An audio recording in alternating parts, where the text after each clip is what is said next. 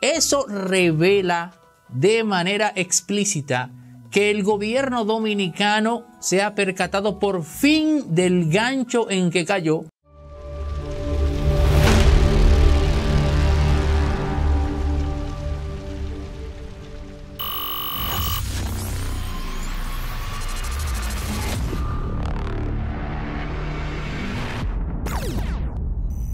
La noticia sobre el Flying Fox dice que es un yate varado en Sanssouci que supuestamente pertenece a un oligarca ruso de nombre Dmitry Kamenchik. O Kamenchik, es bueno que se sepa que tras la caída de la Unión Soviética se dio un reparto de las riquezas nacionales de Rusia y mucha gente se hizo rica de la noche a la mañana porque comenzó a administrar, a gerenciar a título propio los bienes que hasta hace unos días pertenecían al Estado. Tal es el caso, por lo visto, en caso de que él sea el dueño del yate de este señor de nombre Dmitry Kamenchik, porque cuando investigamos su biografía, nos percatamos de que justo antes de que cayera la Unión Soviética, él era un estudiante de filosofía y cuando cae la misma, de repente se convierte en un gran empresario. No quiero agregar más nada. Simplemente estoy eh, dando unos datos que eh, se pueden interpretar como que él pertenece a esa camada de nuevos empresarios tras la caída del muro de Berlín. Ahora bien, señores, yo quiero que ustedes le presten atención a lo que vamos a decir ahora, porque tenemos dos revelaciones. Tenemos dos primicias. La primera es que tras analizar las declaraciones de Homero Figueroa, cuando dice que ese yate que está ahí en San varado se está investigando, pero que si no se descubre nada anómalo, se le dejará libre, eso revela de manera explícita que el gobierno dominicano se ha percatado por fin del gancho en que cayó, y aquí viene la segunda revelación, cuando de manera ingenua posteó aquella carta en la cual se le exigía a Vladimir Putin que sacase sus soldados de Ucrania. Porque esa carta diplomática, entre comillas, quiero que sepan que ni siquiera fue redactada por nosotros. Esa carta se la mandó la embajada norteamericana al presidente. Y por eso es que horas después la misma embajada felicita a República Dominicana por esa postura. Fue por eso que nosotros en un comentario anterior hablamos de las operaciones de falsa bandera, que son estrategias que se dan en medio de las guerras para crear conflictos en un país periférico y acusar entonces a otro país de eh, reaccionar en torno a ese conflicto para luego proceder contra él. Y miren ahora entonces cómo se descubre el tema del yate. Y miren cómo República Dominicana recula. Porque usted puede estar seguro que si nuestro país, o más bien el gobierno, estuviese actuando de manera consona a los intereses de Estados Unidos, no hubiésemos escuchado las declaraciones que hizo Homero Figueroa. Ese yate se está investigando, pero si no se descubre nada anómalo, se le dejará ir. El gobierno norteamericano no quiere eso, porque la administración de Biden lo que está es confiscando y congelando fondos. Señores, pero incluso a Rusia como tal, se le congelaron más de 600 mil millones de dólares en reservas, algo que es muy delicado, porque el hecho de que tú y yo estemos en pleito no significa que tú tienes derecho a tomar mi dinero. Y eso fue lo que hizo ahora Estados Unidos de Norteamérica, abriendo con eso una puerta que es muy difícil de cerrar. El gobierno dominicano, por lo visto, ha descubierto que cayó en un gancho y que meterse en el lío del Flying Fox era precisamente ahondar aún más ese gancho. Por eso la tesitura de Estado hoy por hoy es que ese barco se marche de República Dominicana y lavarse las manos. No sé si decir como Poncio Pilato, pero ¿saben qué? Esa es la postura adecuada. Yo, sin ser permeísta, sin ser abinaderista, entiendo que el país está haciendo lo correcto. Porque no nos conviene absolutamente en nada, por más socio comercial que seamos de Estados Unidos, prestarnos de tonto útil para hacer en República Dominicana una operación de falsa bandera.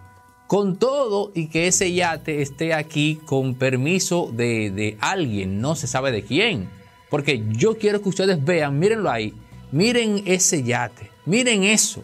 El de Michael Jordan costó 80 millones de dólares, pero ese que está ahí es al menos tres veces más grande que el de Michael Jordan. Miren, eso supuestamente pertenece a ese gran oligarca ruso. Miren esa majestuosidad, Dios mío. No sé cómo un ser humano puede anhelar para sí tanto espacio, pero amén. El gobierno dominicano descubre que cayó en un gancho. Y por eso la declaración de estado oficial es que van a despachar ese yate. Porque decir que si no encuentran nada malo lo van a despachar es anticipando la decisión de que en efecto lo que quieren es salir de ese yate. Y es lo mejor que podemos hacer. Farmacia Medicar GBC es la farmacia de los dominicanos abierta de lunes a domingo con los medicamentos a un 20% de descuento y abriendo también sus puertas en Puerto Plata. Farmacia Medicar GBC la farmacia de los dominicanos. Energía eléctrica ininterrumpida durante toda la vida con una sola inversión y 25 años de garantía gracias a los expertos en la instalación a nivel doméstico de paneles y celdas fotovoltaicas Ser Solar. Llama al número que ves en pantalla ahora mismo y descubre que sacar todo el provecho posible al sol va más allá de pasar simplemente un día soleado desestresante, por ciento, de playa. En República Dominicana, todo el mundo sabe que en Moca se falsifican medicamentos. Yo he estado en Moca. Yo he visto eso.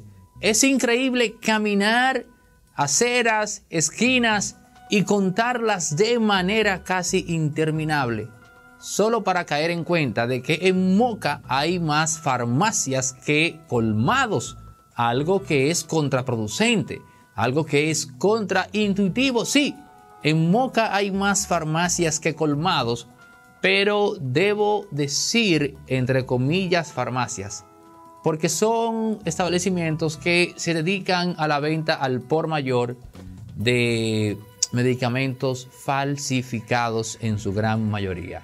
¿Cómo en Moca se llegó a eso? Bueno, yo no tengo la línea de tiempo de cómo se determinó establecer que Moca cumpliese esa función. Pero ahora ha pasado algo que involucra a un diputado del PRM. Queremos decir de antemano de que no estamos hablando de que ese diputado esté involucrado en esto.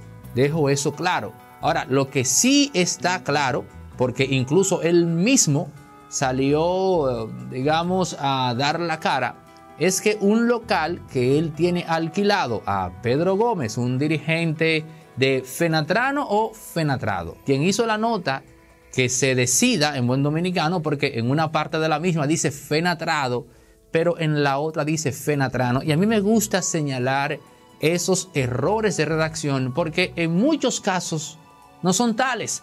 Lo que se busca es embarrar de M a un grupo X.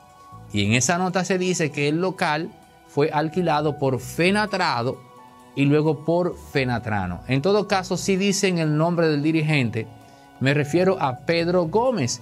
Y el diputado José Miguel Ferreira sale a decir que él entiende que quien está manejando ese local eh, se está dirigiendo por lo correcto, pero al mismo tiempo dice que él no es vigilante, que él no es watchman.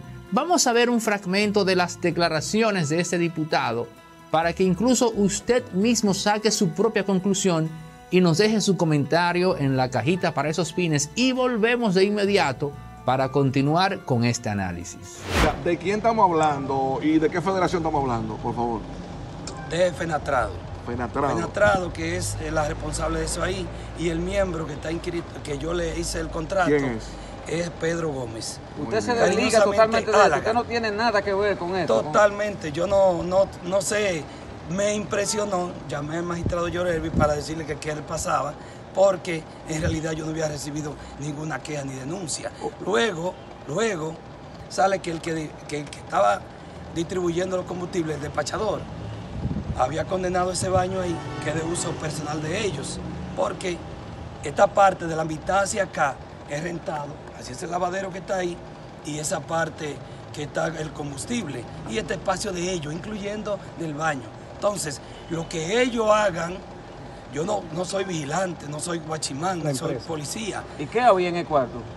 Esa parte, según dicen, yo no estaba aquí, no he podido, apenas acabo de llegar ahora mismo, habían algunos medicamentos adulterados. Ahí está. Él dice que él no es guachimán, aunque él entiende que quien está alquilando eso está andando por lo correcto. Por aquí tenemos dos temas. Porque allí se fue buscando, oigan esto, cómo ocurren las cosas. Esto es República Dominicana siendo República Dominicana. Las autoridades van buscando combustible que se está vendiendo de manera ilegal.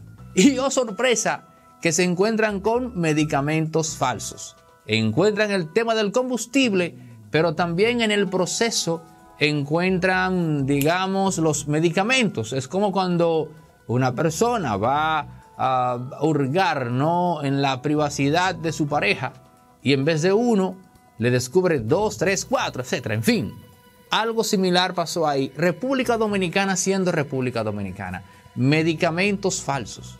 No sería la primera vez que el nombre de un diputado está vinculado a este tipo de cosas, aunque repito, aquí lo que tenemos es un establecimiento que fue alquilado por ese señor y en el mismo se encontró combustible de, venta ilegal y de ñapa encontraron medicamentos falsos. Pero quizás el hecho de que se trate de moca, porque si usted no ha ido, usted tiene que ver para creer lo que yo le estoy diciendo. Pero se lo digo porque yo estuve allí. Y bueno, voy cada cierto, cada cierto tiempo a Moca, que era un gran amigo mío, es de allá, y eso es increíble más establecimientos de medicamentos que colmados o establecimientos que se dediquen a la venta de comestibles. Ya solo con eso usted tiene para inferir que las cosas ahí no están bien, al menos en ese sentido. Pero por último, tengo que agregar ya, Moca tiene años en eso. Eso está desde los tiempos de Leonel, luego Danilo y ahora el PRM. La pregunta que uno se hace es, ¿qué es lo que ocurre en Moca? ¿Quién está en Moca que puede operar ese sistema, ese ciclo o más bien esa ruta de medicamentos falsos sin que nada le ocurra? Pongan a volar su imaginación con esta interrogante que dejo en el aire. Esa imponente Jeepeta Mercedes-Benz del año 2015 está de venta a un precio muy especial. Nos llega a través de los clasificados en tan solo 38 mil dólares negociables. ¿Escuchaste? Repito, por solo 38 mil dólares negociables, esta es tu oportunidad para montarte en esta impecable Jeepeta Mercedes-Benz. Y otro que nos llega a través de los clasificados es esa Jeepeta Lexus 450 del año 2021. Mírenla ahí, impecable por dentro y por fuera. Año 2021, la versión premium a un precio muy por debajo de lo que costaría en el mercado al día de hoy. Lexus 450 año 2021, la marca de lujo de Toyota. Y otro que nos llega también a través de los clasificados de Impolíticamente Correcto al 849-638-8652, que por cierto pueden escribir a ese número para mandar lo que está de venta, así como también para, para mostrar su interés por lo que se anuncia en los clasificados. Ahí tenemos este Daihatsu Sherman. Atención a los amantes de los vehículos clásicos, los coleccionistas automotrices Daihatsu Sherman con asientos en leather, aire acondicionado y todas sus piezas originales. Miren cómo está ese auto por afuera. Puede pertenecer a tu colección por tan solo 12 mil dólares.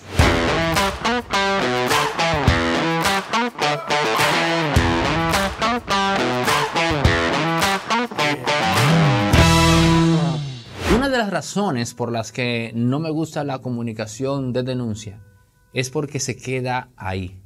No da el paso más allá que tiene que ver con la parte retributiva, la parte constructiva, el tiempo que dedica la gente a ver eh, cualquier contenido de este tipo y sale de ahí quizás muchas veces amargado, con incertidumbre, porque entiende que ha visto una parte pero la otra parte va de la solución.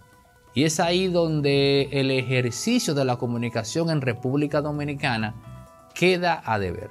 Nosotros queremos introducir hoy un concepto que va en la línea de dar ese paso más allá de la simple denuncia, de la simple crítica, aunque ciertamente el análisis como tal tiene un elemento contributivo que va más allá de, una denuncia. Pero quiero introducir una idea que ojalá y le quede a la gente que sigue esta plataforma. Y quise tratar el tema en el bloque final porque sé que si tú eres de los que llegas a este punto en este capítulo, es porque eres uno de esos seguidores fieles de esta plataforma. Señores, yo quiero hablar hoy brevemente de la democracia deliberativa. ¿Qué es la democracia deliberativa? ¿Con qué se come eso? ¿Y por qué esa idea contribuye al fortalecimiento de los derechos civiles y al empoderamiento de la sociedad? Nosotros estamos acostumbrados a escuchar hablar de democracia representativa que es la que conocemos actualmente. Pero la democracia deliberativa va más allá. Porque no se trata de personas que nos representan, diputados, senadores, alcaldes, eh, presidentes, y que toman decisiones supuestamente en pro de nuestros intereses.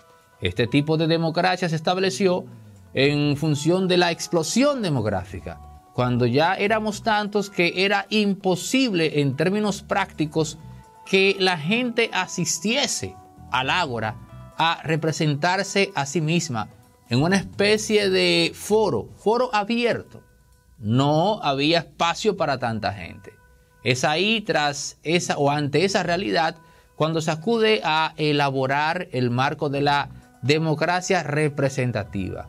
Pero hoy en día, cuando ya no es necesario que nosotros estemos físicamente en cualquier lugar, porque la hiperconectividad nos permite hacer acto de presencia, entonces es ahí cuando surge la democracia deliberativa. Y esto que es una idea, es un concepto que ya se ha puesto en práctica. Por ejemplo, en Irlanda en el año 2016. ¿Y en qué consiste la democracia deliberativa? Oh, muy simple, señores. En que aprovechando esa facultad de comunicarnos en tiempo real que nos da la tecnología, nosotros ahora podemos hacer acto de presencia a través de Internet y participar en foros donde se deciden temas de impacto e interés público de cara a nosotros mismos interactuamos con expertos, emitimos nuestra opinión y en línea, hablando, aprovechando precisamente el Internet, nos podemos poner de acuerdo. Podemos llegar a un consenso nosotros mismos sin la necesidad de un político que nos represente. Eso es la democracia deliberativa los ciudadanos conversando en tiempo real y poniéndose de acuerdo en torno a los temas que les afectan en la vida cotidiana. Esto es democracia. Esto es libertad. Porque si algo tenemos que asimilar es que no hay forma humana en la cual le demos participación a los gobiernos en nuestras vidas, en el aspecto doméstico, ¿no? Del día a día, sin que eso no signifique al mismo tiempo una pérdida de una fracción de nuestra libertad. Y para que ustedes, eh, todo aquel que quiera ir un poco más allá de esto, que se lean eh, Crisis en Leviathan o Crisis y Leviathan del historiador económico Robert Hicks, que describe perfectamente ese tema de cómo el gobierno, alegando protegernos, no hace más que ir sacrificando una a una nuestras libertades. La democracia deliberativa le devuelve de manera directa a las personas el poder de elegir y tomar las decisiones acertadas en su vida cotidiana.